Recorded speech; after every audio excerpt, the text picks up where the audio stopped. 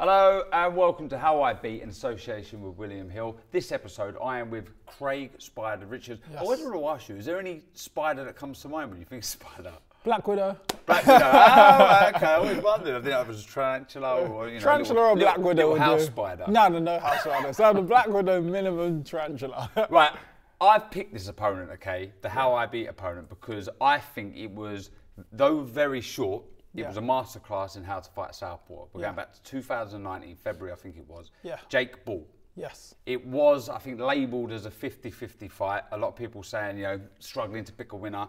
Two good fighters on the cuffs of really moving on to that next level. Yes. But it was a three round destruction. Yes. Straight away, like I say, I was impressed with the way you approached the Southpaw. Is there anything in your head when that bell's bell, bell goes, Yeah. right, I'm fighting the Southpaw, I've got Yeah. to do this? What is it? Well, do you get the general um, conceptions, obviously keeping the left foot outside of his left foot, um, dominating with the lead And just hand. quickly, for those, why would you want to do that? Why, why did people advise getting on the outside? People advise it because it takes away their strong hand, their backhand. They're a southpaw. I'm an orthodox. If you're a southpaw, Sorry, if you southpaw, switch, sorry. you go there. Yeah. Now our lead hands are the same. Yeah. Both our backhands are our power Yeah. hands. So that's yours. So I'm taking myself on the outside to cancel your power hand. Yeah.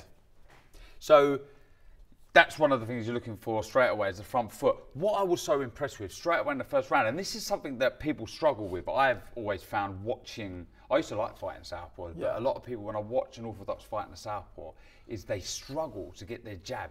Yeah. Into play because, like you said, look, you like this. If you're the southpaw, Southpaw. you're like this, aren't you? So you're sort Yeah. of fencing a You're little bit. yeah. Straight away, I was impressed with the way you was able to establish your jab in the first round. Yeah. How? Why? Why was that? Just the way you angle, just the way I angled my body, I didn't literally, he's in line with me, and rather than clashing over the arms, I'm just taking myself Yeah. off the line and creating new angles and creating new lines to get my um, jab off and varying the jab variety up rather than having the same Yeah. jab throwing the same dimension. That's the big thing, right? Variation. Variation, Vari- yeah. It's not even like the long left hook as well that you was throwing. It's not just people think of a jab just being that. Yeah. That is it. Yeah. There's so much more, isn't there? Hundred percent. So and that's what it was. I just used the variation of jabs to close the distance and get my timing in, and off, obviously off the back of that, then you can then bring your backhand into play. And that backhand, what a shot. I mean, I think it was the first round you dropped him with Yeah. a straight right. Straight right hand, Which is obviously the shot for a southpaw. It goes Yeah. straight down the middle.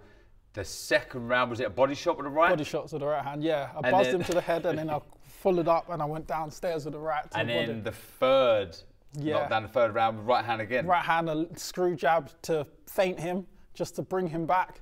Landed the right hand, buzzed him, and dropped him again with the right hand. And is it all about? So you- mentioned it there with that right hand. How important is it to follow the jab, or do you vary it? Is it about throwing it solo sometimes? the right Varying hand, or, is varying because um, patterns can be readable. So if I'm going to throw the same shot, I might land it the first or second time. As a fighter, you're going to start reading it. So it's about varying it up. Might touch it with a jab, then throw it. Might throw the left hook, then throw off it. Might throw a screw jab, then the right hand off of it. So just varying. Or I might just throw it off with the cuff. So it's just about making you be unaware of the different um, variations I'm going to use of it. and like I say, the third round you got the finish. Talk to me about how that fight ended. Was it was it right hand? It was got the ref jumped Yeah, in right. yeah, so- saved ball from further damage. Yeah, so I got him going with the right hand. Then I just started to stalk. Once he got up, after I Did dropped you know him, you had him at this point? I knew I had him at that point. I knew it was just how am I going to take him out? So I was just stalking him, stalking my prey.